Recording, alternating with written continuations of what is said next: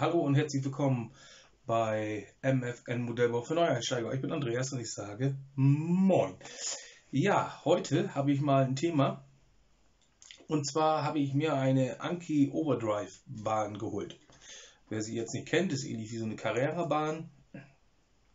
Der Unterschied ist nur, dass man eben diese kleinen Modellautos mit ähm, dem Handy steuert und dass die Gegner ähm, braucht man keinen zweiten Mann dafür, sondern der ist computergesteuert und fährt eben halt alleine. Man kann damit Waffen sammeln und all so ein Kram. Die Bahn sieht so aus. besser gesagt so, der Karton, der ist irgendwie so. Ja, jetzt habe ich mir diese schöne Bahn gekauft und habe hinterher leider festgestellt, dass die Firma pleite ist, ähm, was sehr schade ist. Aber äh, die Apps gibt es noch, die funktionieren auch auf dem Handy, das ist alles kein Problem. Aber leider sind die mitgelieferten Autos nicht mehr die besten. Also die Akkus sind platt oder aufgebläht. Ich hatte zwei Autos waren dabei, die waren beide hinüber die Batterien und habe mir danach nochmal nachträglich ein Auto geholt und auch ähm, von dem Auto ist die Batterie platt.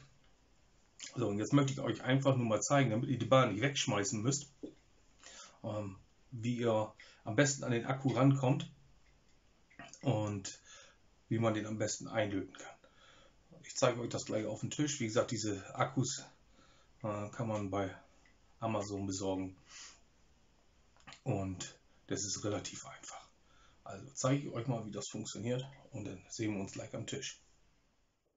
Da haben wir jetzt so einen schönen Rennwagen. Wie gesagt, da ist leider der Akku völlig hinüber. Also ich kann der Ladestation ranhängen, dann ähm, braucht er eine ganze Zeit, bis er auflädt. Und wenn ich fahren will, kann ich da höchstens zwei Minuten mitfahren. Dann kann ich den hier auspacken. Hier unten ist noch ein bisschen was zum Ziehen. Jetzt zieht er dran. Und dann sollte ich normalerweise nee, drücken, glaube ich. So, kann ich das Auto da rausnehmen. Ähm, ich habe mir dazu diese Akkus geholt oder ein Akku. Und jetzt zeige ich euch mal, wie man das macht. Also drehe den um. Da ist eine kleine Kreuzschraube. Die kann man dann einfach ausdrehen.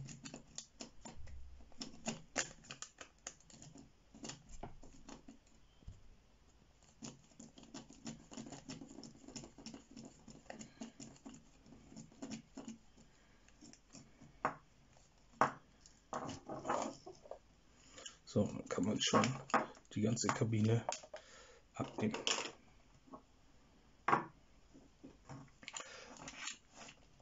Hier sitzen so zwei kleine Klammern, da muss man ein bisschen aufpassen, dass sie nicht kaputt brechen. Deswegen habe ich mir, oder deswegen nehme ich mir immer so ein kleines Messer. Dann hake ich hier eine Seite so ein bisschen ein.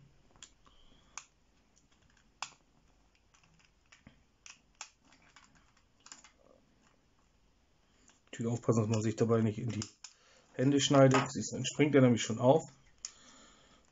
Kann man den so hochklappen und dann da sitzt schon der Akku drin. Den kann man so hochnehmen. Wichtig ist dabei, dass man, ja, man kann das sehen, ne, dass da so eine Filzunterlage ist. Die solltet ihr nachher auf den alten Akku auch wieder rauf machen oder auf den neuen Akku wieder rauf machen, damit er nicht auf der Platine liegt. Und kann man das, da sieht man die beiden Lötpunkte, nimmt sich einen Lötkolben, lötet die ab und lötet genau auf die gleichen Punkte ähm, den neuen Akku wieder ran. Schön rot auf rot und schwarz auf schwarz. Und dann setzt ihr das genau umgekehrt wieder zusammen. Ganz wichtig ist nachher wieder beim Zusammensetzen, dass ihr die Karosserie hier hinten als erstes einhakt und dann vorne. Weil ich habe das nämlich mal verkehrt gemacht, habe ich es nicht richtig eingehakt hinten. Und dann äh, lief das Auto nun geradeaus und hat, äh, ist der Spur nicht mehr gefolgt. Wie gesagt, hinten dann als erstes einhaken und dann die Schraube wieder rein und dann sollte das funktionieren.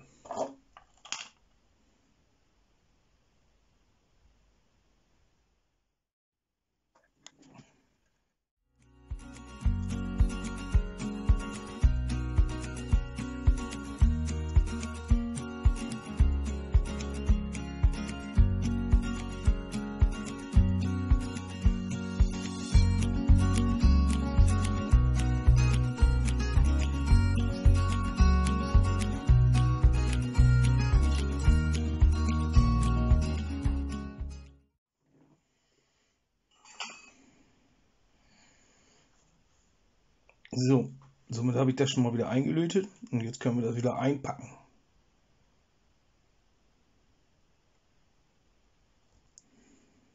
Dann wir, man sieht hier auch, dass der Akku schon aufgebläht ist. So, mich einfach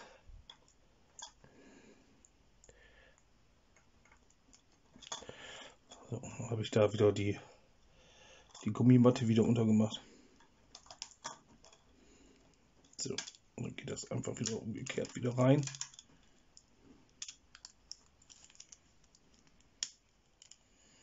So, das ist wieder eingehakt. So, jetzt sollte der gleich eigentlich und alles gut gegangen ist leuchten. Guck. Alles super. So, dann wie gesagt, erst hinten die Karosserie einhaken und dann, dass die Räder und der Abstand gleichmäßig ist, Schraube wieder rein und dann war es das auch schon.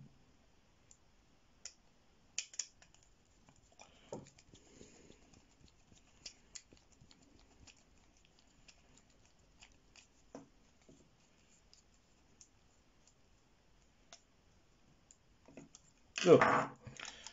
Und jetzt testen wir das mal, das funktioniert. So, da haben wir das Auto, setzen das dann mal auf die Bahn. So, und siehe an. Das sieht schon mal gar nicht so schlecht aus. Dann gucken wir gleich mal. Wir lassen ihn mal aufladen und dann warten wir mal ab. So, jetzt sind wir an der Bahn. Jetzt gucken wir mal, das gleich hinhaut. Nein, das will ich nicht. So, mein Gegner. Gehen wir uns ein paar Autos besorgen. Commander, wählen Sie Ihr Fahrzeug. So. Guck, das Auto hat er schon erkannt. Diesmal geht es nicht nur darum, schnell zu sein. Die Strecke. Jetzt scannen wir das mal. Hast du gedacht, Powerzone erkannt. es wird ein Streetfight? Das Problem an Streetfights ist, dass die Straße immer gewinnt. Ja, super. Funktioniert. Ja, ich hoffe, ich konnte euch jetzt da ein bisschen behilflich sein und ihr müsst nicht gleich die ganze Bahn jetzt im Müll schmeißen. Ähm, es ist natürlich schade, dass äh, wenn man sich jetzt ein Auto bestellt oder wenn man sich die Bahn bestellt, dass die Akkus dann gleich kaputt sind. Ich meine, vielleicht habt ihr ja auch mehr Glück und eure Akkus sind in den Autos noch heilen. Das war bei mir jetzt nur dreimal Zufall. Das mag auch gehen. Nichtsdestotrotz, ich wünsche euch einen schönen Tag noch und ähm, wir sehen uns dann beim nächsten Mal. Ich bin Andreas und ich sage Moin Moin.